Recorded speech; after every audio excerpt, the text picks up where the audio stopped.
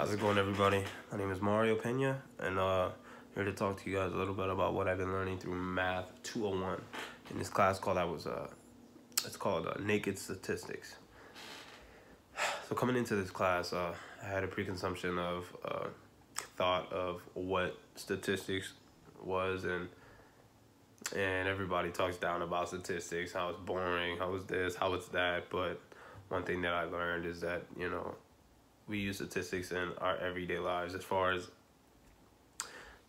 where you want to go with your career. Every type of business uses math. Everybody uses statistics, and probability is a huge factor in all of those, and especially in churches as well. And it plays a huge part, and it's very important to know exactly what it is that you're dealing with and how you to deal with it. So I want to thank you again for listening, and uh, I thank West Coast as well for giving me the opportunity. You guys have a blessed day.